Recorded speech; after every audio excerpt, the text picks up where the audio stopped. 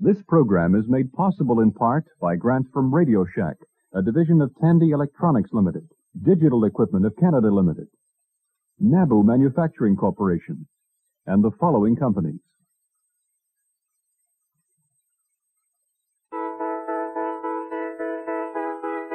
Patterns of light on the video screen. Images bright, flowing an endless stream.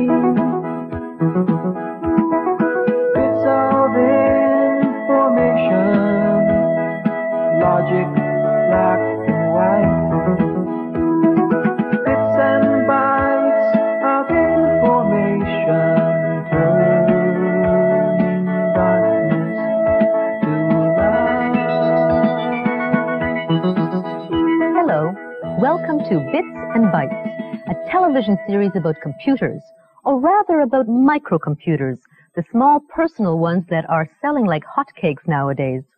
I'm Luba Goy, and I'm going to be the presenter of the information about computers that's been prepared for us by the experts. And this is Billy Van, who's going to be himself, the average person who knows nothing about computers but wants to learn. Computers seem to have crept in everywhere, haven't they? Here are some familiar scenes.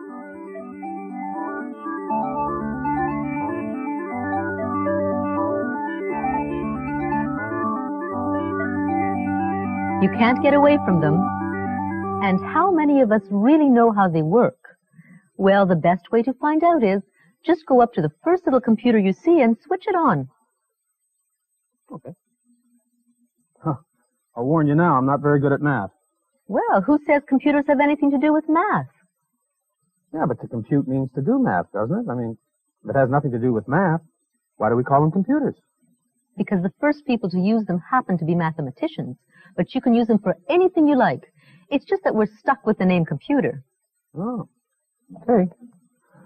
Well, I guess I better turn it on.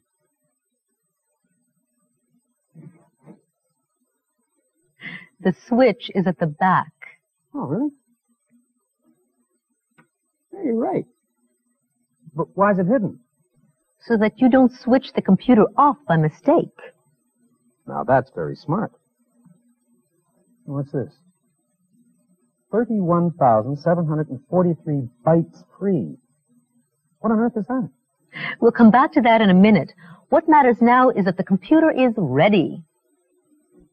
Okay. Oh. Um. When is it started? Is something wrong with it? Hey, do something. Come on. I'm afraid computers don't do anything on their own. You have to tell them precisely what to do step by step. You have to program them. Oh, wait a minute. I don't know how to program. You don't have to do the programming yourself. Beside you is a ready-made program you can feed into the computer. Oh, this is just an ordinary audio cassette. Yes, it is. And you can play it on that ordinary-looking audio cassette recorder that's already plugged into the computer. Okay.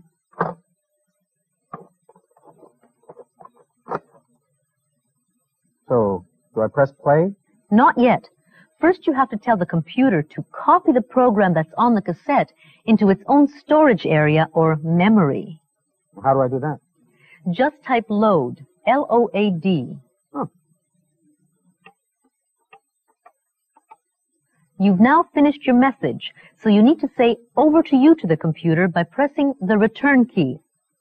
On other computers, you'll see a key marked enter, and that also means over to you. Oh, here it is. Return means over to you. Oh, and it says press play on tape one. Okay. May I?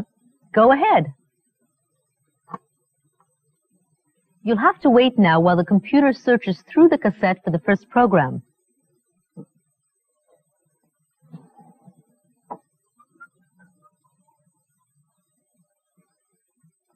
Thought these things were supposed to be fast. They are fast. It's the cassette that's slow. The poor old computer can only go through a cassette at normal playing speed. Oh. Ah, finally. What it's doing now is loading or copying the word game program into its memory. Now the program is loaded, but nothing's going to happen until you tell the computer to start obeying the instructions in that program. To do that, you tell the computer to run the program. Type run and then press return. Okay. R U N return. Scramble letters. Oh, it's a word game. Great. Okay. Press space bar. What is your name? Okay. My name is B I L L Y. Billy. Good luck, Billy. They're really friendly, aren't they? Okay. What's my first word? It is C O L H O S. School. School.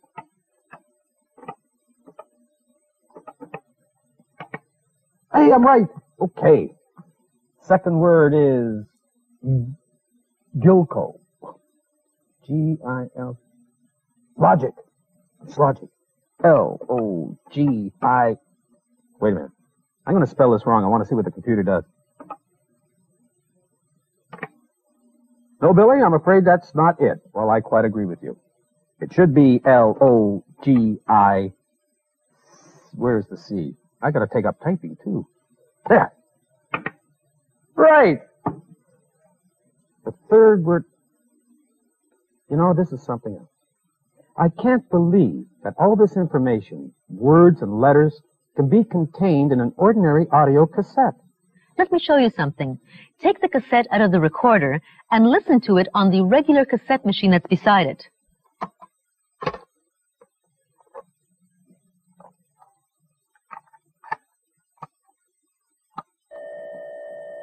Ooh, wait a minute.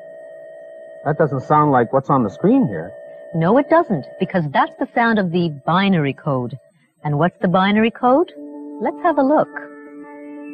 If you lift the lid of a computer, you will see a circuit board into which a number of little boxes have been plugged. Each box contains a chip, which consists of thousands of microscopic electric circuits, each of which can be either on or off. This is the only language that the computer understands. Is one of my circuits on or off? A sequence of several ons and offs in various combinations can represent any number, or letter, or graphic symbol, and we can symbolize these ons and offs by using a 1 to stand for on and a 0 to stand for off. Most computers can represent any of the symbols on their keyboards by various combinations for a total of exactly eight ones and zeros. Since this language or code is based on two digits, one or zero, just as a bicycle is based on two wheels, or a biplane is based on two pairs of wings, it is called the binary code, from the Latin word binarius, meaning two together, and each of the ones and zeros is called a binary digit, or bit for short. So it takes eight bits to represent any keyboard character. Such a group of eight bits is called a byte. One byte is the equivalent of one character. This computer can store or remember roughly 32,000 bytes. That means you can feed a program into it that uses up to 32,000 characters, letters, numbers, or graphic symbols. Just as a kilometer is a thousand meters and a kilogram is a thousand grams, so is a kilobyte roughly a thousand bytes. This computer, therefore, has a 32 kilobyte memory, or a 32K memory for short. But the memory of most small personal computers can be extended to at least double that, 64K. This may sound a lot, but it isn't. The average page of a book contains about 2,000 characters. It's a 2K page. So